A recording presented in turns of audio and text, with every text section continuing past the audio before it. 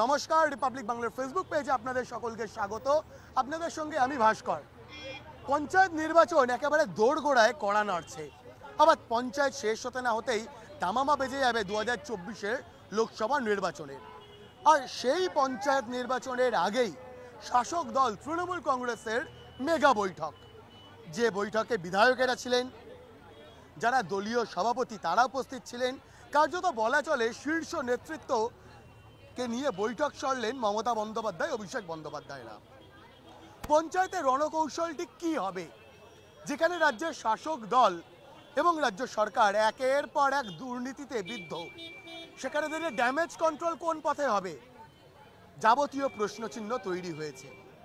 আর সেই কারণেই বোধহয় আরও একবার শাসক দলকে বলতে হচ্ছে, তারা দুর্নীতির ক্ষেত্রে জিরো টলারেন্স নীতিতে বিশ্বাসী। অর্থাৎ দুর্নীতির সঙ্গে কোনো আপোষ হবে না।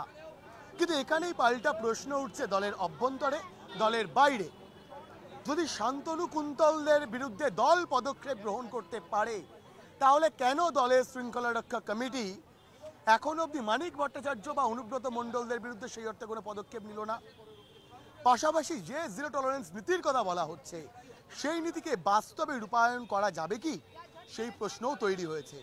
আবার তার পাশাপাশি কিন্তু সংখ্যালঘু যে মোর্চা বা সংখ্যালঘু যে সেল, সেই সেলকেও ঢেলে সাজানোর বার্তা দেওয়া হয়েছে। যারা পুরনো তৃণমূল নেতা, তাদেরকে একাধিক জেলা দেখার দায়িত্বও দেওয়া হয়েছে। এবং সেই জায়গা থেকে দাঁড়িয়ে নিঃসন্দেহে পঞ্চায়েতের আগে যাবতীয় ড্যামেজ কন্ট্রোল করে নিজেদের ঘর গোছানোর মরিয়া চেষ্টা শাসক দল তৃণমূল কংগ্রেসের।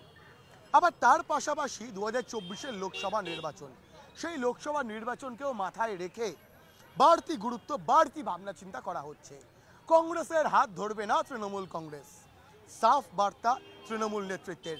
এবং সেই জায়গা থেকে কংগ্রেসকে বাদ দিয়ে অন্যান্য আঞ্চলিক দলগুলোকে সঙ্গে নিয়ে তৃতীয় ফ্রন্ট গড়ার লক্ষ্যমাত্রা তৈরি হয়েছে।